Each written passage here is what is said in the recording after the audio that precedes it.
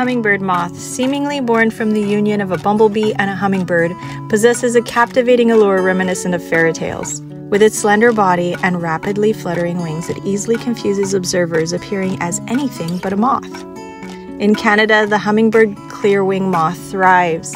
Its wings, which are predominantly transparent with visible veins and borders, seem inadequate to support its plump body as it gracefully hovers for extended periods.